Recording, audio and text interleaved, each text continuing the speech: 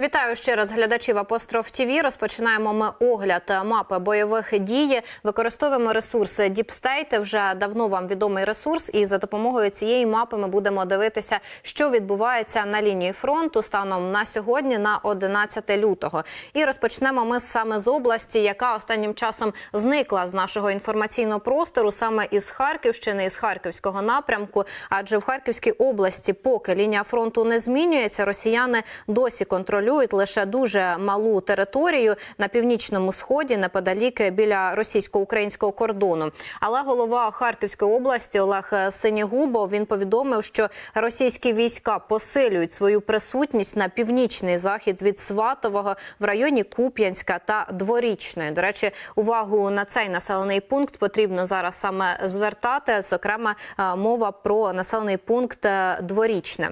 І е, перейдемо відразу на Сватівський напрямок напрямок, адже е, водночас ми зараз можемо бачити, як поступово починають е, російські військові активізуватися саме на цьому напрямку. І е, за даними ресурсу DeepState, єдине місце успіху саме для росіян це Гряниківка, Дворічне. Там ворог взяв під свій контроль лівий берег річки Оскіл, і починаються точитися бойові дії зараз у лісах. Зараз на своїй мапі ви можете на мапі DeepState, ви можете бачити, як саме зараз виглядає цей відтинок фронту. Е, і ще раз нагадаю, що е, вдалося все таки росіянам взяти під контроль ліс біля Осколу. На в лісах е, біля Кремінної точаться е, бої, але зафіксовані також здачі в полон російських військових та ураження техніки. І, зокрема, аналітичний портал е, телеграм-канал DeepState у пише, що наші воїни вдарили по рідкісній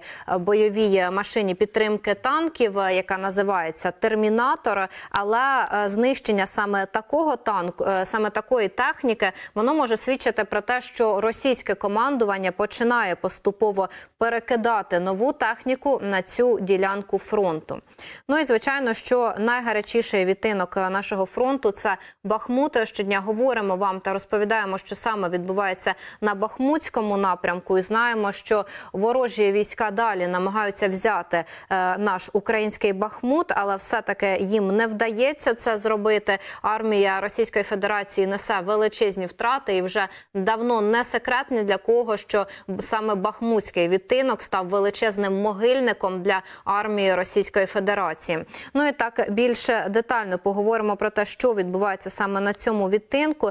Е, знаємо, що армія Російської Федерації вона не полишає спроби взяти е, під контроль е, трасу Костянтинівка Бахмут, але поки їм вдалося просунутися лише на кілометр. Про це повідомив лейтенант батальйону Свобода Національної гвардії гвардії е, Роман Конон, який долучається до етерів, і водночас також росіяни роблять спроби вийти до траси Слов'янське Бахмут. Тут вони просунулися на 3 кілометри. Знову ж таки, за даними наших військових, які перебувають на цьому відтинку фронту. Якщо подивитися, от зараз на схід.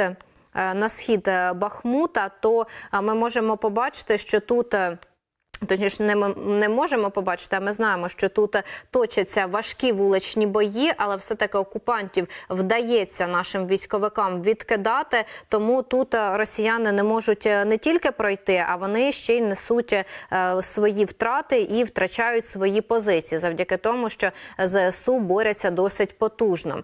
Ну і на півночі біля Бахмуту, в районі Красної Гори, ситуація досить складна. Зараз ми можемо бачити на своїх екранах як відбув е, виглядає саме цей відтинок фронту, але ситуація контрольована. Хоча, звичайно, що ризик оточення Красної Гори він досить високий, і ми розуміємо, що у разі захоплення цього населеного пункту у рашистів відкриється шанс просуватися трасою, яка веде до Слов'янська. Ось ця траса.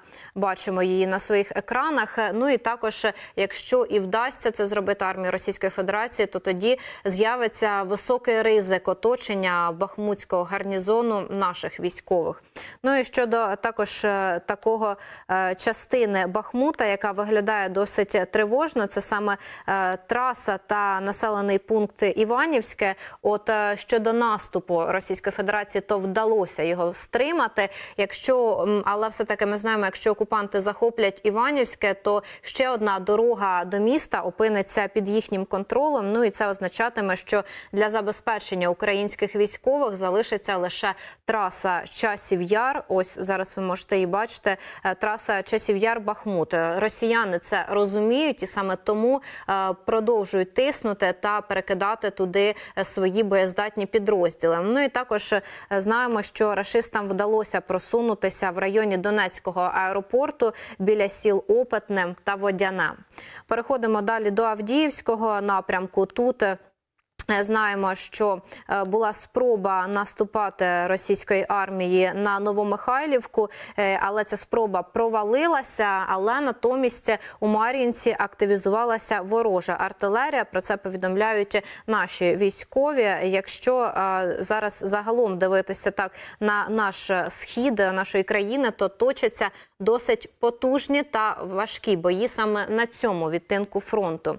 Ну і інформація, яка скажімо так стала позитивною для нашого інформаційного простору. Напередодні вона гучно вірвалася в наші новинні стрічки. Маю на увазі, звичайно, що вугледар, адже ми не можемо його оминути своєю увагою. Знаємо, що тут російські морські піхотинці вони здійснили спробу великого бронетанкового прориву, але такого добрячого тягла від українських артилеристів отримали, що навіть російські джерела почали визнавати про те, що армія Росії на вугледарському напрямку понесла величезні втрати, і відомий ватажок так званої ДНР та терористи Ігор Гіркін Стрілков він написав е, у своєму телеграм-каналі, що от е, поблизу вугледара російську армію розстріляли як у тирі.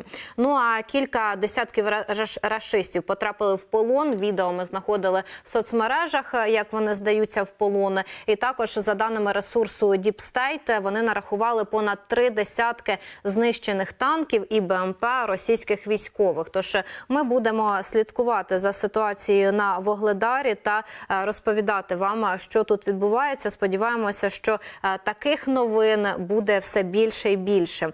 Ну і також е, до речі.